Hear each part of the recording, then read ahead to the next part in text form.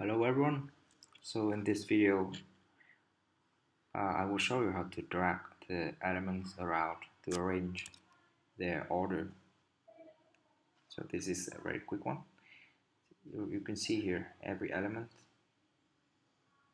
has this icon, the, the drag, the move icon here.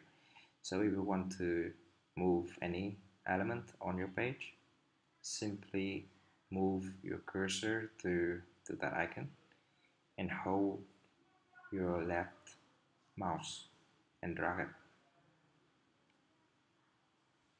As you can see, I have just dragged the text down below the button and you can do this like this again. So that is how you can rearrange the elements on your page. You can also have something like this. You have a list here. Every time you drag something, it will be appended to the bottom of your page. So you can grab this and drag to anywhere you want.